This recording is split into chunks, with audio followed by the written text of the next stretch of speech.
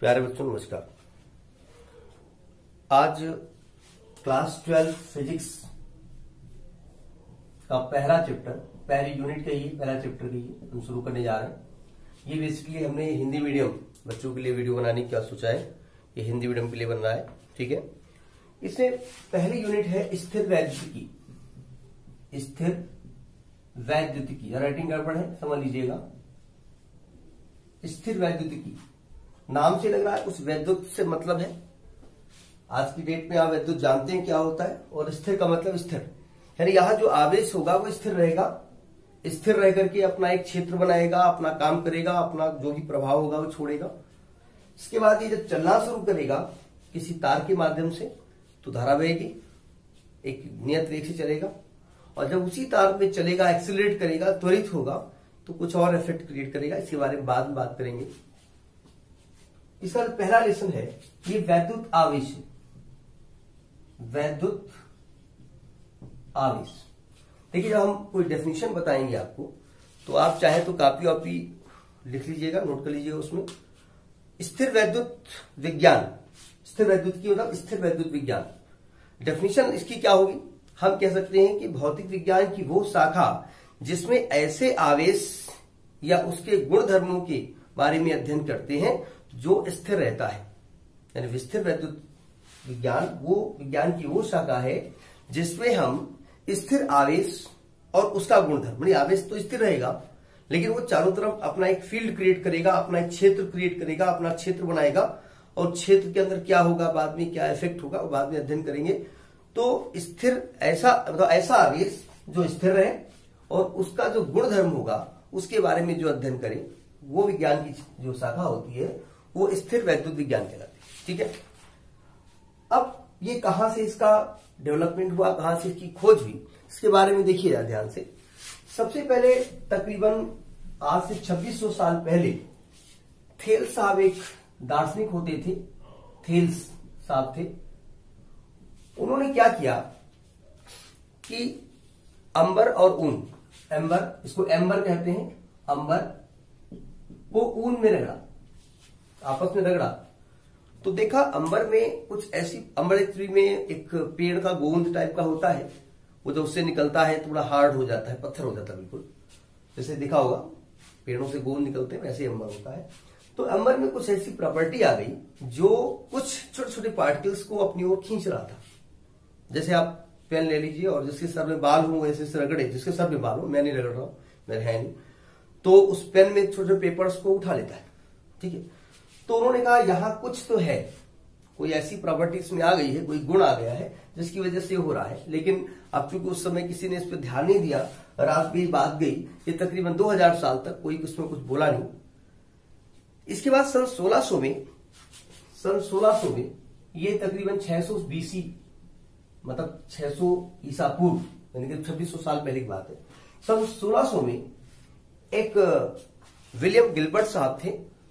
उन्होंने कुछ और प्रैक्टिकल किए। उन्होंने कांच को रेशम में रगड़ा। तो देखा इसमें कुछ प्रॉपर्टी वैसी आ गई। विलियम गिलबर्ट साहब के बारे में बता दें, ये क्वीन एलिजाबेथ फ़र्स्ट के पर्सनल डॉक्टर भी हुआ करते थे, ठीक है? तो उन्होंने देखा कांच पे पॉजिटिव चार्ज हो गया और रेशम पे निगेटिव होगा, ये हम बता रहे हैं, उन्होंने नहीं बताया। अभी उन्होंने कुछ नहीं बताया। अभी उन्होंने देखा ऐसा होता है। इसी प्रकार से आबनूस को जब बिल्ली की खाल में रगड़ा गया आबनूस को जब बिल्ली की खाल में रगड़ा गया तो ऐसे कुछ उसमें भी प्रॉपर्टी आई। तो उन्होंने कहा, इसका मतलब ये होता है, इसके रगड़ने से कुछ हो रहा है। क्या हो रहा? पता नहीं क्या हो रहा है।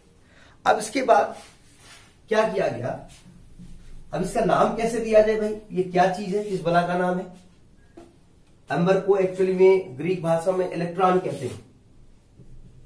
इलेक्ट्रॉन के टी आर एन इसीलिए जो इलेक्ट्रॉन की खोजी पहले इलेक्ट्रॉन वहाँ नाम रखा गया था एम्बर की वजह से रखा गया था।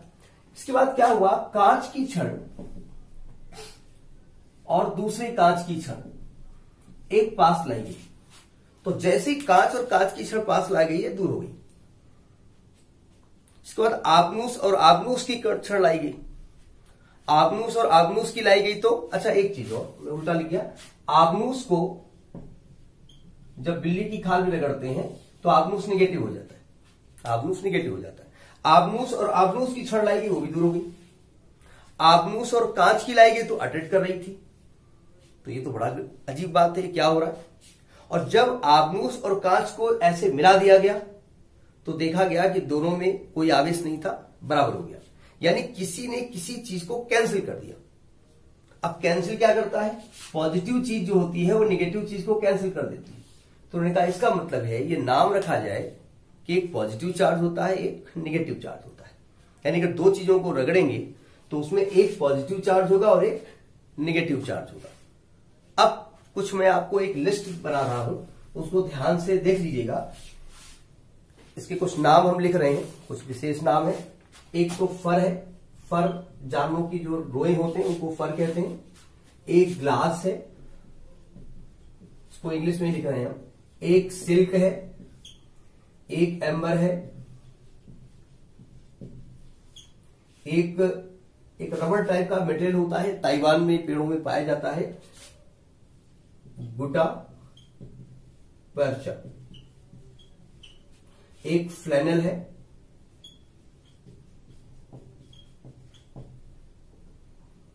एक फ्लैनल है, कॉटन है, एक ह्यूमन बॉडी है। आप जानते हैं, आदमी का शरीर भी आविष्ट होता है। एक सल्फ़र है, एक सीलिंग वैक्स है,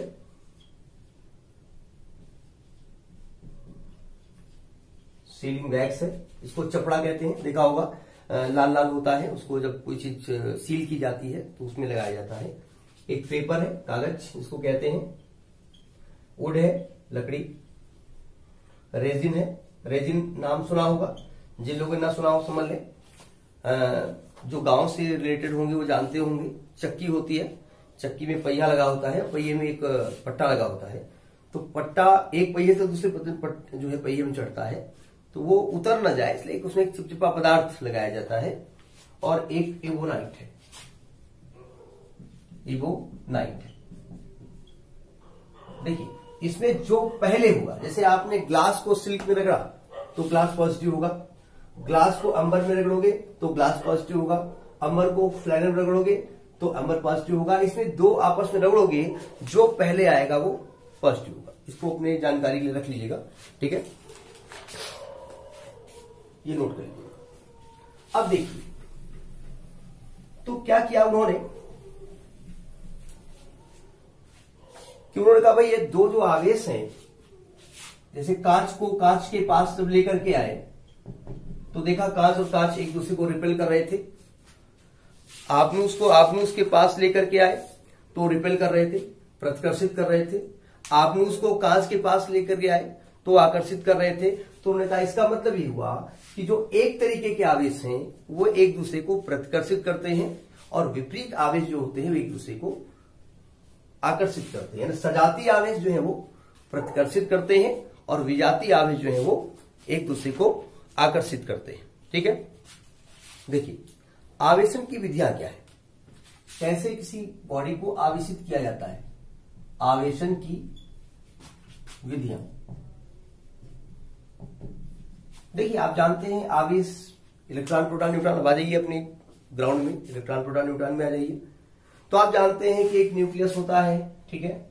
उसके चारों ओर इलेक्ट्रॉन चक्कर लगाया करते हैं। तो सिंपल सी बात है, अगर दो बॉडी को रगड़ोगे तो क्या होगा, मेन तो इलेक्ट्रॉन रगड़ेंगे। तो एक से इलेक्ट्रॉन टूट के दूसरे में जाएँगे, या दूसरे से पहले में आएँगे। अगर एक से टूट के दूसरे में जाते हैं तो एक पॉजिटिव होगा, जिसमें जाएँगे वो निगेटिव होगा, जिससे जाएँगे वो पॉजिटिव होगा। अगर मान लिया एन इलेक्ट्रॉन कहीं टूट के गए तो कुल कितना आवेश हो गया? एनी क्यू बराबर एनी ये प्लस भी हो सकता है और ये माइनस भी हो सकता है। तो कितनी प्रकार से हम इसको आवेशित कर सकते हैं, इसके बारे में बात करने जा रहे हैं। देखिए, एक तो चालन विधि द्वारा हम आवेशित कर सकते हैं। चालन विधि द्वारा विधि द्वारा हम किसी बॉडी को आवेशित कर सकते हैं। मतलब दो अगर चालक हैं और उनको आपस में संपर्क कैसे करा दिया जाए तो इलेक्ट्रॉन एक बॉडी से दूसरी बॉडी में जम कर जाएँगे, चले जाएँगे। तो ये चालन जिससे हम आविष्ट कर सकते हैं। दूसरा होता है प्रेरण विधि द्वारा। जरा प्रेरण को ध्यान से समझ लीजिएगा। प्रेरण विधि द्वारा प्रेरण क्या होता है? देखिए ध्यान से। अगर मान लिया कोई आवेशित बाड़ी आप यहाँ लेके आएँगे, मान लेते हैं इसमें पॉजिटिव आवेश है। हमने अभी कहा पॉजिटिव का मतलब क्या होता है? पॉजिटिव का मतलब होता है इलेक्ट्रॉन की कमी उसमें है। और इसके बगल में कोई ऐसी बॉडी लेकर के आइए जो आवेशित नहीं है। तो होगा क्या? इसका जस्ट अपोजिट एक्चुअली में इसमें इलेक्ट्रॉन तो रहे होंगे। अब वो अलग की बात है, जितने न्यूक्लियस में प्रोटॉन होंगे, उतने ही इसमें इलेक्ट्रॉन होंगे। तो इसको हम न्यूट्रल मान के चलते हैं, या न्यूट्रल है। ये कैसी है? न्यूट्रल है। लेकिन होता क्या है इसके इलेक्ट्रॉन इधर निगेटिव हो जाते मतलब इलेक्ट्रॉन इधर शिफ्ट हो जाते इसने इसको छुआ नहीं। लेकिन ये निगेटिव हो गई अपोजिट हो गई। इसको हम प्रेरण कहते हैं। प्रेरण की भावना हम लोगों के अंदर बहुत है। आपने देखा होगा कहीं पर भी आप क्लास में पढ़ रहे होंगे और या नहीं पढ़ रहे होंगे दूसरा किताब निकालेगा और आपको लगेगा बड़े आए। तो वो ये क्या है? ये ये प्रेरण है। प्रेरण हमेशा अपोजिट हो, होता है। अगर आप रोड पे जा रहे हैं और कोई दूसरा अपना बाल खींचना शुरू कर देगा तो जिसके बाल सर में नहीं है और वो भी अपना कंगा निकालेगा, अपना खींचेगा। क्यों? क्योंकि उसको प्रेरित हो गया उससे।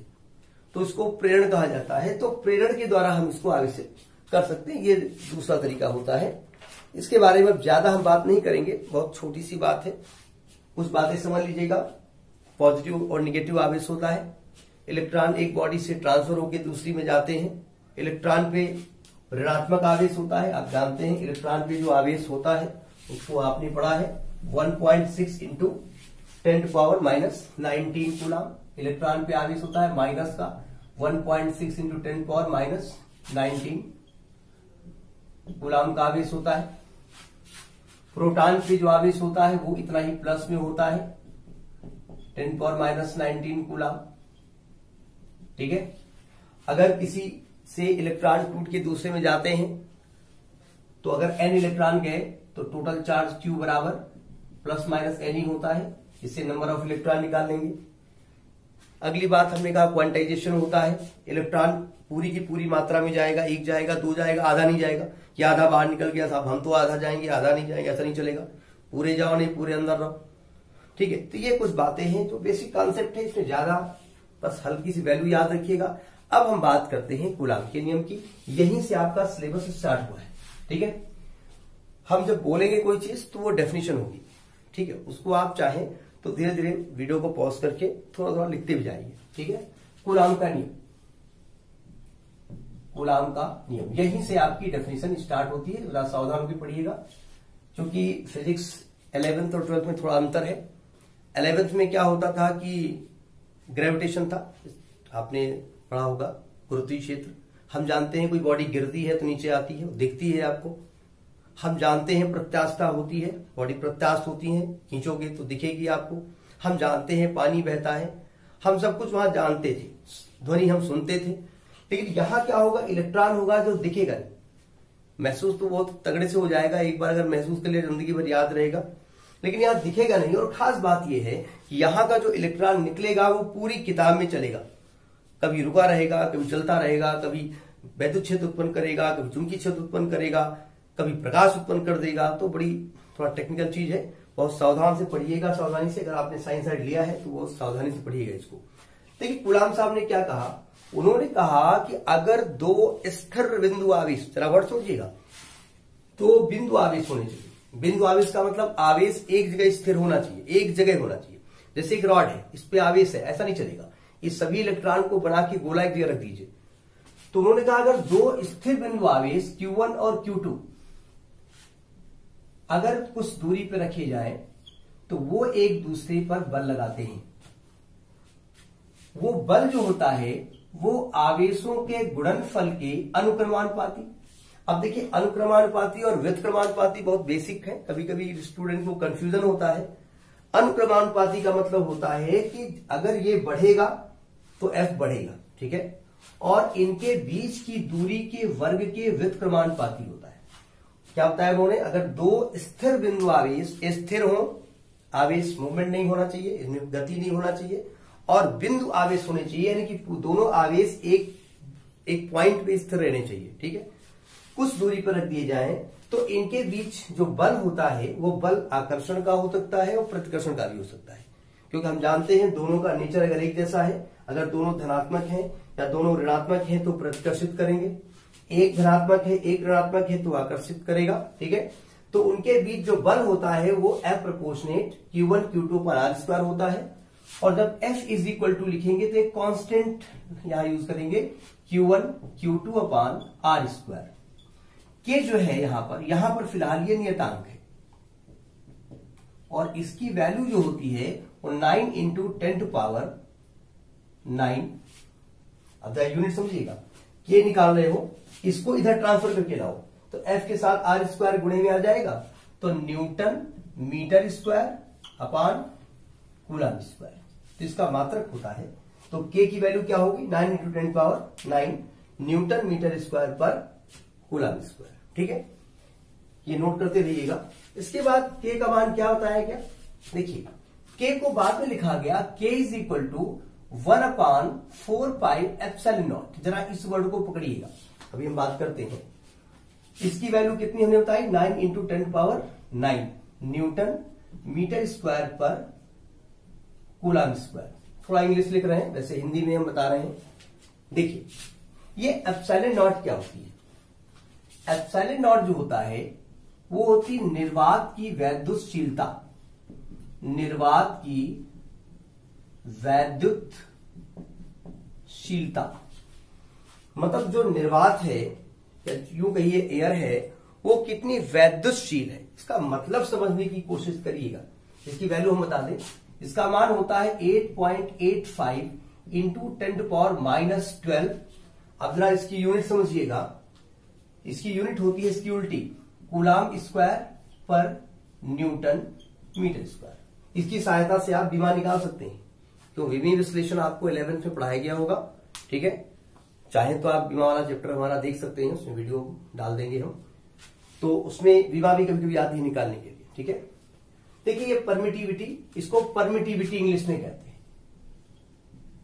परमिटिविटी नाम से लगा परमिट करना। जरा समझिएगा। मान लिया हम है, हमारी बॉडी है। आप जानते हैं कि ह्यूमन बॉडी में आवेश होता है और एक बिजली का कोई तार है, उसमें भी आवेश है। स्थिर नहीं है, अलग की बात है, आवेश है। उस आवेश ने चारों तरफ़ एक एक क्षेत्र उत्पन्न किया है, जिसको वैद्युत क्षेत्र कहते हैं। ठीक है? हम उस क्षेत्र में रखे हुए यानी कि हमारी बॉडी उस वैद्युत क्षेत्र द्वारा एक बल कार्य करेगा, लेकिन माध्यम क्या करेगा? उस बल को कम ज़्यादा कर देगा। ठीक है? तो जितना वो कम कर देता है जितना वो कम कर देता, समझिएगा, वो उसकी वैद्युशीलता होती, उल्टा लग रहा है। मतलब मान लिया कि वहाँ से दस लाइंस हमको अटेंड कर रही हैं और या हम पे रिपेल कर रही हैं, बल लगा रही हैं, और तीन चार लाइंस ऐसी हैं जिनको माध्यम सोख लेता है, कम कर देता है, इसका मतलब ये हुआ कि उसकी जो परमिटिविटी है, जो कम कर दिया, वो उसकी परमिटिविटी वो उसकी वैद्यशीलता है। मतलब मान लिया हम एक लकड़ी ले लें और एक स्विच है, हमने उसके गड्ढे में स्विच में डाल दिया और पकड़े खड़े देखो लकड़ी हमको जो है, कोई फ़र्क नहीं पड़ा, हम तो बड़े बहादुर हैं, ठीक है? तुमने पकड़ा, हमने उस लकड़ी में हल्का सा तार लगा दिया कि लोहे का, डालो इसमें, और डाल दिया और समझ गया क्या हो गया। क्यों? जब लकड़ी हमने डाली तो लकड़ी ने क्या किया? उस लाइंस को पार नहीं होने दिया। तो वो उसकी परमिटिविटी थी। लाइन को रोक देना। और जो हमने लोहे का तार निकाह है, लोहे का तार वहाँ से करंट को आने दे रहा है। यानी मान लिया सौ लाइन्स वहाँ से आ रही हैं, मान लिया सौ गुना वहाँ से आ रहा है, लोहे के तार ने तीस गुना सोख लिया तो उसकी परमिटिविटी तीस होगी, ठीक? इसको हम निर्वात की वैद्यशीलता कहते हैं। अब मान लेते हैं, यदि इन आवेशों के बीच में कोई माध्यम रख दिया जाए, यदि आवेशों के बीच, आवेशों के बीच कोई माध्यम रखा जाए, कोई माध्यम रखा जाए कैसे? ये Q1 आवेश था, ये Q2 आवेश था, हमने बीच में मान लेते हैं पानी रख दिया। बीच में कांच रख दिया, बीच में माइका रख दिया। तो जब माध्यम रख देंगे, तब F बराबर होगा one upon four pi F अब ज़ीरो नहीं लगाते हैं, ध्यान रखिएगा। Into Q one Q two upon r square जो एप्साइलन है, इसको कहते हैं माध्यम की वैद्यशीलता। ये निर्वात की थी। आप कल्पना करिए, अगर निर्वात वैद्युतशीलता न होती तो बहुत हाई टेंशन लाइन हमारे चारों तरफ़ से निकलती है। तैतीस हज़ार लाइन जो है, ग्यारह हज़ार लाइन हम उसके पास से निकलते तो हमको अटेंड कर लेती। माध्यम क्या करता है? जो एयर है, उसको रोक लेती है। इसीलिए वो वैद्युत क्षेत्र हमारे को इफ़ेक्ट नहीं करता है, ठीक है? ये माध्यम की वैद्युतशीलता है। ये माध्यम की वैद्युतशीलता है, ठीक है? और एप्साइलन और एप्साइलन नॉट का जो अनुपात होता है, उसको हम के से रिप्रेजेंट करते हैं। ये पहले वाला के नहीं है, ये कांस्टेंट है। ये के से करते हैं, ये माध्यम का परावैद्युतांक है।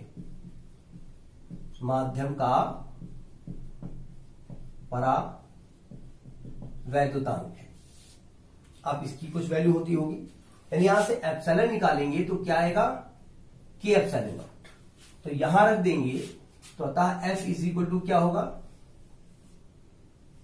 One upon four pi epsilon naught के Q one, Q two upon r square. तो जब हम कोई न्यूमेरिकल लगाएँगे, आगे जो प्रूफ करेंगे, उसमें हम आवेश रखेंगे, एक माध्यम मानेंगे, माध्यम का परावर्तन के मानेंगे, इस प्रकार से, और ये प्रूफ करके हम लाएँगे। और जब हमारा प्रूफ आ जाएगा तो हम के की वैल्यू वन मान लेंगे, ठीक है? इस प्रकार से यहाँ तक आप करिएगा।